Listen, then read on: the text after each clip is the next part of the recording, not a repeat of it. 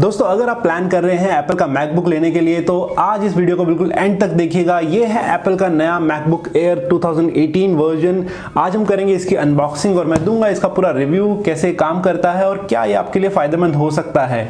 तो फटाफट टाइम खराब ना करते हुए वीडियो को स्टार्ट करते हैं। सो so, दोस्तों जैसा आप देख सकते हैं ये मैकबुक एयर है और मैकबुक एयर के अंदर आपका अगर आपको अभी दिखा पा रहा हूँ तो यहाँ पर आपको मिलता है 13.3 इंचेस का आपको स्क्रीन मिलेगा एल ई स्क्रीन डिस्प्ले मिलेगा, आपको 1.8 पॉइंट का dual core Intel core i5 का प्रोसेसर मिलेगा, जिसमें तीन एम की कैशे है और आठ जी के अंदर आपको सोलह 1600 मेगाहर्ट्ज़ की आपको L P D R three RAM मिलेगी, एक सौ अट्ठाईस जी बी की आपको S S D hard drive मिलेगी और आप तो जानते होंगे S S D hard drive काफ़ी फास्ट होती है।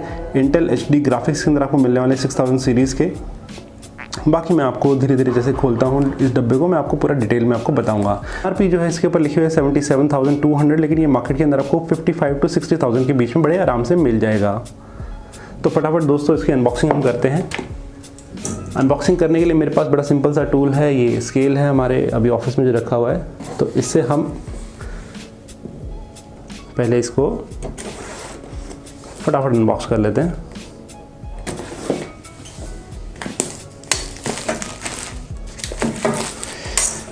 और बड़ी ही प्यारी इसकी आवाज़ है।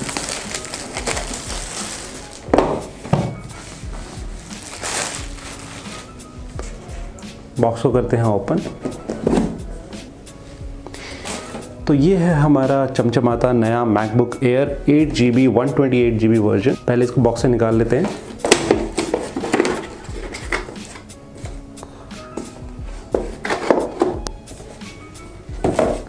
हम देखते हैं बॉक्स के अंदर हमको क्या क्या मिलता है। सबसे पहले तो जैसे मैंने आपको बताया मैकबुक हमारा है इसके अंदर। इसको हम थोड़ा सिंपली इसको हम अलग कर देंगे और इसके बारे में अभी बात करेंगे। पहले देखते हैं बॉक्स के अंदर और क्या क्या मिलता है हमें। तो ये है आपका मैनुअल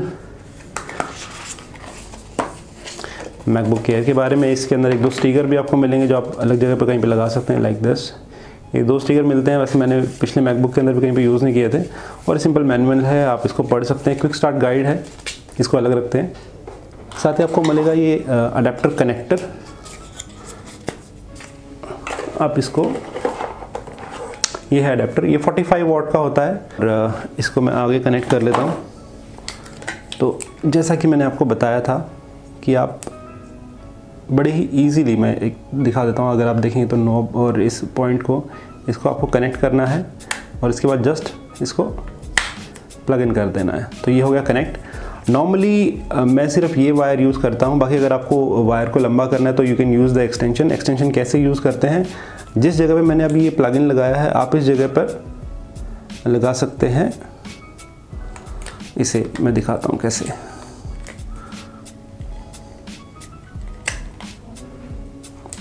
ये देखिए, अगर आप इसको यहाँ पर लगाते हैं तो वायर आपकी एक्सटेंड हो जाएगी और जो पावर कनेक्टर है वो यहाँ पर आ जाएगा। बट नॉर्मली क्योंकि मैं इसको यूज़ नहीं करता हूँ तो मैं डायरेक्टली एक्सटेंशन को हटा देता हूँ और यहाँ से कनेक्ट कर देता हूँ। तो मुझे लगभग इतनी वायर की ज़रूरत होती है। That's more than sufficient for me magnetic इसका इफ़ेक्ट होता है, ये इजीली कनेक्ट हो जाती है। बाकी इसके अलावा वो डब्बे में कुछ भी नहीं है दोस्तों, ये बड़ी सिंपल पैकेजिंग में आता है। तो हम मूव ऑन करते हैं अब नेक्स्ट स्टेप की तरफ़। तो फाइनली ये है हमारा मैकबुक एयर 128 GB तो दिस द सील इसको हम अभी ओपन कर लेते हैं। बहुत ही अच्छी एक प्यारी सी साउंड है इसकी। और ये लीजिए। ये थोड़ी सी डिटेल काफ़ी ही, काफ़ी स्लीक है, ये काफ़ी पतला है और देखने बहुत ही खूबसूरत है। 13.3 इंचेस का है और टोटल ये मेटल का बॉडी है।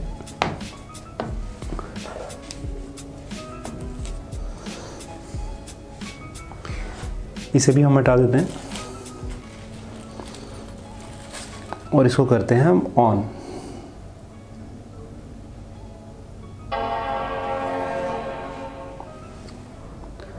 तो दोस्तों जैसे कि आपने आवाज़ सुनी अब ये बूट हो गया है। तो इसके बाद आपकी होंगी कुछ क्विक सेटिंग्स जो मैं अभी आपको करता हूँ और उसके बाद आपको इसका पूरा डिटेल में आपको रिव्यू दूँगा।